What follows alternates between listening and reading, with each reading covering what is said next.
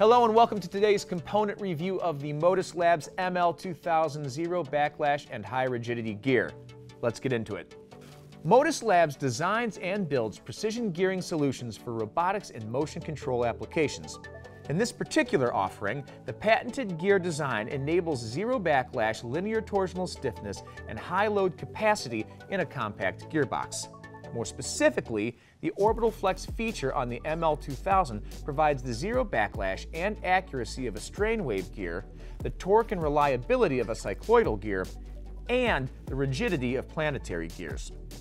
The foundation for this orbital flex is centered around a solid, rigid, preloaded cup orbiting within a ring gear to produce zero backlash.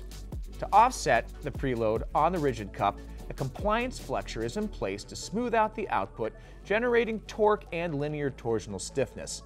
Some key features are, of course, as we mentioned a minute ago, the zero backlash enabling applications that require high precision, but also high rigidity for control command speed and accuracy. We also have linear torsional stiffness here to control the stability of a robot's motion control system, making it easier to develop and implement control algorithms. High positional accuracy also helps applications consistently reproduce the same movements and positions. And of course, we have high torque as well as cross-roller rigidity for maintaining the structural integrity of robotic joints and arms, preventing deflection or flexing during movements.